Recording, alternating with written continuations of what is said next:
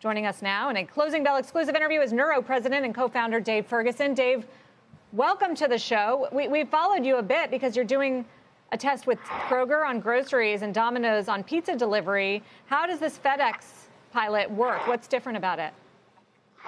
Uh, yeah, thanks. Thanks for having me again. We're, we're really excited to be partnering with FedEx. For, for us, this this represents the first time that we've entered into the package delivery vertical. So as a company, it's it's a really big deal. And I think even more important than that, this is a multi-year commitment by both part by both parties to really build the future of, of on-demand and, and local delivery using self-driving vehicles. So so we're really excited about it. So are they, are they trucks?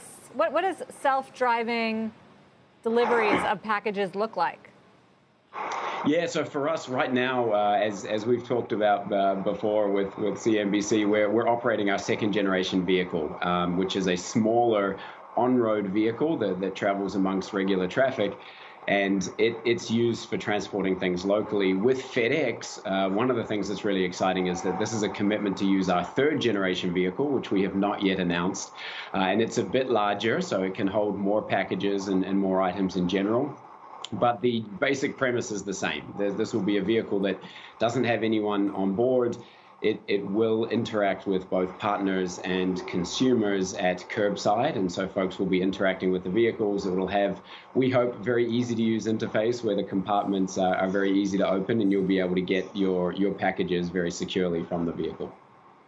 What, Dave, uh, is stopping this from becoming very widely uh, adopted at this stage? Or is that inevitable in in the short term? Or do you still need different regulation? Do you need a little bit more innovation on your side? Yeah, great question. Uh, a, little bit of all of the above, I would say. Uh, so we've, we've, we're very proud of the progress that we've made on the technical side. So obviously we have active pilots going with our custom vehicles out in the world. Uh, on the regulatory side, we've also made pretty big strides. So the, the R2, the second generation vehicle that we have out uh, doing deliveries with Domino's, was the first and only vehicle ever granted an exemption by the Department of Transportation to be a fully self-driving vehicle out on roads. And so we feel pretty good from, from all of these aspects, but there's still a little bit more work to be done. I would say on the tech side, there's still a little bit more work to be done before we can scale to the level of the entire country, which is obviously what we want to do and also what we're aligned with with FedEx in doing.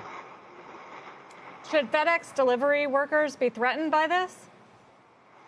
So, one of the reasons why Nuro as a company is so excited about local last mile delivery is that we're incredibly confident that it's going to be a net uh, increase in jobs, like in, in massive numbers, millions of jobs. And we actually partnered with a an independent company, the the Steer company to do a report on what the impact will be on jobs of, of local delivery with AV. Uh, and so we know that we're going to be growing this enormous market. We're going to be adding a lot more jobs. And with FedEx in particular, you know, FedEx uh, touches about 18 million packages a day.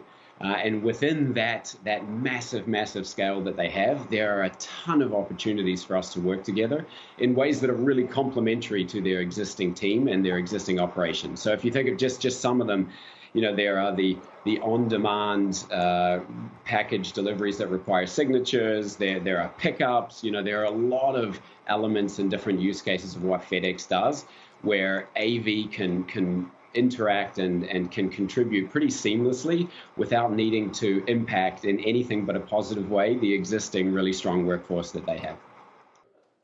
Shepard Smith here. Thanks for watching CNBC on YouTube.